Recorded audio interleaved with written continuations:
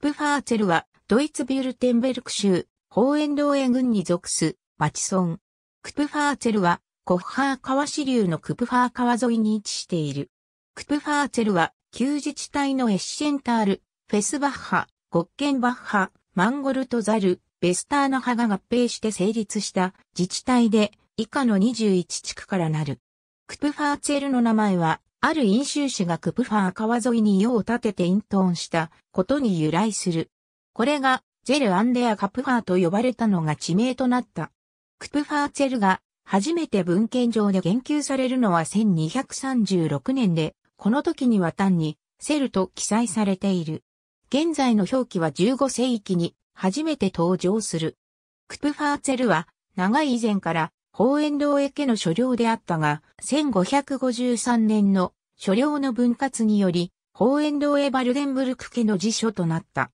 1684年以降は、ホーエンドーエバルデンブルクシリングスフィルストの家系に属した。1721年に宮廷の上官が建設され、クプファーツェルはシリングスフィルスト伯領の首都となった。帝国代表者会議主要決議に従って、この村は他の方園道駅への所領と同様、1806年にビュルテンベルク王国領となった。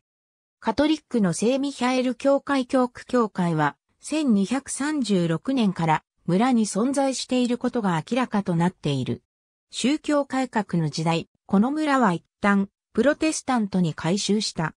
その後、カトリック系のホーエンドーエバルデンブルクシリングスフィルスト博の首都となったことで1719年にはカトリック教会が再興され、博の庇護を受けた。1972年1月1日、クプファーツェルにフェスバッハ、マンゴルトザル、ベスターナ派、エシェンタール及びゴッケンバッハが合併し、新たな自治体としてのクプファーツェルが誕生した。この町の議会は25議席からなる。バッカースホーフェンの野外博物館に保存されている旧クプファーツェル駅の駅舎、クプファーツェルは連邦アウトバーン A6 号ザールブリュッケン、バイトハウス線を介してドイツ国内のみならずフランスやチェコをも含む長距離交通網への交通の便の良い場所にある。